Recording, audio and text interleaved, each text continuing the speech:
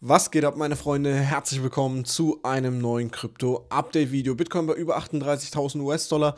Wir haben unsere Supportzone gehittet, wo wir vorgestern drüber gesprochen haben. Seitdem kennt Bitcoin nur eine Richtung und zwar nach oben. Neues Hoch haben wir zwar noch nicht erreicht ob das möglicherweise dann in den nächsten Stunden folgt, das werden wir uns auf jeden Fall im heutigen Update-Video anschauen. Außerdem, wie stehen die Chancen für eine Korrektur? Wir werden auf die Ethereum blicken und natürlich auch mal ganz kurz auf die Stockmärkte. Bevor wir jedoch starten, lasst dem Video gerne ein Like da, abonniert den Kanal, wenn ihr es noch nicht gemacht habt und natürlich gerne in die kostenlose Telegram, Talk und Signalgruppe reinschauen. Wenn ihr Bock auf Updates, News und Signale, kommt da gerne rein. Den Link dazu findet ihr unten in der Videobeschreibung. Außerdem, wie gesagt, gerne in die Talkgruppe reinkommen, wenn ihr irgendwelche Fragen habt dann äh, ja, könntet ihr auch jederzeit in der ganz normalen Talkgruppe stellen. Und weiterhin, wenn ihr euch noch nicht bei BingX registriert habt, registriert euch da gerne. Ihr kriegt 10% Rabatt lebenslang auf die Gebühren und es folgt auch bald wieder ein kleines Gewinnspiel. Wahrscheinlich, wahrscheinlich noch vor Weihnachten, also deutlich vor Weihnachten. Will ich nur mal als kleinen Tipp daran geben. Link dazu findet ihr unten in der Videobeschreibung. So, jetzt aber rein. Wie gesagt, Bitcoin bei 38.000 US-Dollar.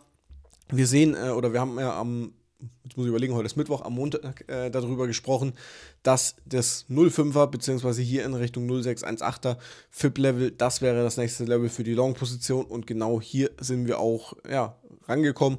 Sind dann hier äh, perfekt gebounced, also haben klar ein bisschen konsolidiert hier, weil es ein bisschen gedauert hat, aber darauf folgend ging es dann nach oben und heute, heute Nacht dann in der Spitze auf knapp 38.400 US-Dollar. Also jeder müsste jetzt hier im Profit sein, zwei Take-Profits genommen haben und jetzt erstmal chillen. Was mich hier ein bisschen stört, muss ich ehrlicherweise sagen, dass wir eben hier nicht die Kraft hatten für ein höheres Hoch. Also es könnte sich jetzt erst einmal möglicherweise hier so ein kleines Doppeltop nämlich daraus bilden. Also da müssen wir ein bisschen drauf aufpassen, dass das jetzt eben nicht der Fall sein wird. Sollten wir nämlich hier doch nochmal ein höheres Hoch generieren das heißt, in den nächsten Stunden hier nochmal rüberkommen und drunter schließen, ist das ganz klar ein Short-Signal und dann können wir eben aufgrund der offenen Position hier nochmal eine Short-Position eingehen. Ziellevel können wir auch gleich bestimmen und zwar werden wir jetzt gerade mal das FIP-Level hier wegmachen, weil das wurde ja schon erreicht. Perfektes Setup eigentlich gewesen hier. Und nehmen uns dann, na, wo haben wir das FIP? So, von unserem Tief zu unserem Hoch dann sehen wir, okay, hier würde es auch sehr, sehr gut passen, wenn wir hier nochmal Retest der 37.350 bis ungefähr 37.300 US-Dollar Marke sehen. Wir gucken uns auch hier gleich dazu auch nochmal die äh, Vector-Candles an, weil die ja relativ gut gezogen haben. Auch hier wegen unserer Ineffizienz eigentlich perfekt abgeholt worden. Auch hier haben wir ein, zwei Vector-Candles, die genau hier eben in den Golden Pocket mit drin sind. Das heißt, es würde sehr, sehr gut passen, wenn wir einerseits natürlich das Last Week High nochmal antesten, Liquidität darüber abziehen, Short-Position aufmachen, wir haben die Long-Position auch offen, kein Problem, Short hier oben reingehen und dann eben hier unten möglicherweise dann die Position wieder verdoppeln, mit aber dann auch wiederum Stop-Loss hier ungefähr bei 37.000 US-Dollar. Also tiefer oder höher sollte der Stop-Loss nicht sein, weil, wie gesagt, ihr seht es hier an den Vector-Candles, wir haben hier eine schöne Demand-Zone, plus wir haben genau vor dem Golden Pocket auch nochmal eine Demand-Zone und wie gesagt die Vector-Candles, die hier eben auch noch liegen. Klar würden wir unser Psy-High, Psy-Low kurz nach unten hin durchbrechen, finde ich jetzt aber ehrlich gesagt nicht so schlimm oder macht jetzt in dem äh, Kontext jetzt nicht so wirklich viel aus, weil das Golden Pocket hier meiner Meinung nach kurzfristig auf jeden Fall überwiegt. Ansonsten short-technisch Müssen wir mal gucken, wie wir da das Setup am, am besten machen. Wir schauen mal ganz kurz auf den 4-Stunden-Timeframe, wenn er den laden würde. Wir haben, wie gesagt, hier oben die 40.000 US-Dollar-Marke, die immer noch ein, eine magische Zahl einerseits ist. Andererseits haben wir, wie gesagt, die 38.500 US-Dollar-Marke oder 38.400 ist es ja knapp hier oben, die wir jetzt erst einmal durchbrechen müssen. Das heißt, zwecks Short, den wir hier eingehen möchten an dieser Stelle, würde ich auf jeden Fall hier nicht auf die 40.000 spekulieren, weil dann haben wir hier einen Stop-Loss von 4,65%, dann kannst du die Long-Position auch gleich dicht machen, meiner Meinung nach. Das heißt, ich würde hier ungefähr einen Risk von 1,5% einplanen. Das heißt, hier knapp wieder über unserer, ja, über unseren Abtrendkanal, der sich hier so schön gebildet hat und mehr auch nicht. Das heißt, grob bei 39.100 US-Dollar, weil die 39.000er Marke ist auch wieder so eine psychologisch wichtige Marke. Das heißt, Stop-Loss, wer hier in Short reingehen möchte bei einem höheren Hoch, Natürlich würde ich das nur machen, wenn die Long-Position hier bei euch offen ist. Ansonsten ist mir das Risiko ehrlich gesagt viel, viel zu hoch, dass wir hier in Richtung 40.000 US-Dollar hochballern. Das heißt, Entry 39, äh, 38,5, Stop-Loss 39,1 und dann auch würde ich gegebenenfalls, sollte man hier ausgestoppt werden, den dritten Take-Profit, dann auch hier irgendwo in dieser Region dann von dem Long auf jeden Fall setzen. Ansonsten sollten wir eben diese Short-Position abholen, wäre es perfekt. Dann runtergehen, würde ich auch hier unten dann den ersten oder zweiten Take-Profit in dieser Zone, wo dann das Golden Pocket liegt, abholen. Und dann müssen wir nochmal das Ganze ganz genau beurteilen, ob hier möglicherweise dann die Kraft schon ausgeht oder ob wir hier möglicherweise einen Pump weiter fortsetzen. Heute fangen wir an mit den News ein bisschen, was äh, so ein bisschen losgeht. Steht einiges an. VPI-Daten, warum da Bayern steht, keine Ahnung. Auf jeden Fall Erwartungen zu den äh, Inflationserwartungen äh, in der EU kommen.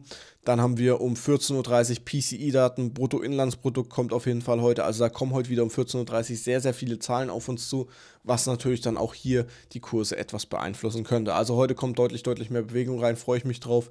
Gehen wir rüber zu Ethereum. Hier das gleiche Spiel eigentlich wie bei Bitcoin. Wir haben das Golden Pocket abgeholt wo wir darüber gesprochen haben. Hier muss ich aber ehrlicherweise sagen, bin ich nicht reingegangen. Ich bin nur in Bitcoin reingegangen, weil, wie gesagt, mir ist die ganze Lage immer noch ein bisschen zu ungewiss und dann möchte ich lieber nur einen Trade riskieren. Aber auch hier muss man dazu sagen, eine richtige Reaktion ist hier ein bisschen verweilt geblieben. Also klar, Golden Pocket, Pump nach oben, aber ein höheres Hoch fehlt hier auch noch. Und bei Bitcoin sind wir da deutlich näher als bei Ethereum. Also hier war es erstmal die richtige Entscheidung, nicht in einen Trade zu gehen. Deswegen würde ich hier jetzt auch erst einmal alles wegmachen. Wir befinden uns hier weiterhin in der Seitwärtsrange.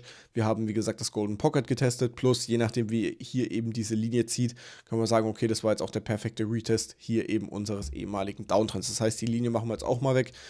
Trotzdem, hier gibt es nicht wirklich viel dazu zu sagen.